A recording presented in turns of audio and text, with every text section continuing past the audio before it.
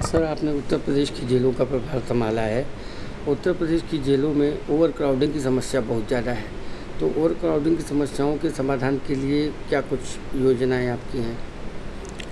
देखिए, मेरा पहला असाइनमेंट है जेल का। ओवर क्राउडिंग की समस्या तो है, उसके कारण भी बहुत सारे हैं। कुछ जेलों में बहुत ज़्यादा ओवर क्राउडिंग है, कुछ जेलों में कम है। तो समस्याओं का कारण को समझते हुए उनके निदान करने का प्रयास किया जाएगा और इसको बहुत शिद्दत के साथ में इसको दूर करने की कोशिश की जाएगी।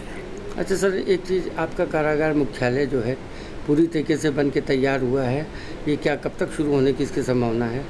माननीय मुख्यमंत्री जी से उसके उद्घाटन के लिए समय मांगा गया है और जैसे ही वहाँ से अनुमति आएगी हम लोग उसमें शिफ्ट कर जाएँगे। जो है अच्छा सर आजकल दो तीन दिन से एक विवाद है कि तबादलों को लेकर के क्या इस तबादलों में सही हुए हैं या कुछ कमियाँ रह गई हैं?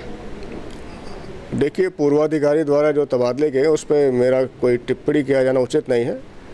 हाँ इसमें अगर कोई निर्देश कहीं से आता है उसमें उसी हिसाब से कार्रवाई की जाएगी। ठीक सर थैंक यू सर।